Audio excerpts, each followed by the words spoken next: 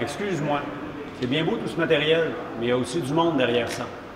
Au service des travaux publics de la ville de Saint-Jérôme, on est 120 employés à préparer, à réparer et à opérer toute cette belle machinerie.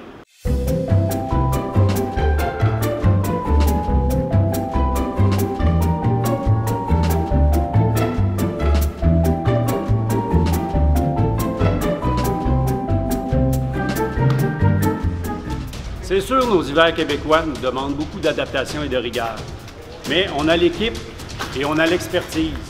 Mais on avoue, citoyens de Saint-Jérôme, et on est fiers d'entretenir votre ville qui est aussi la nôtre.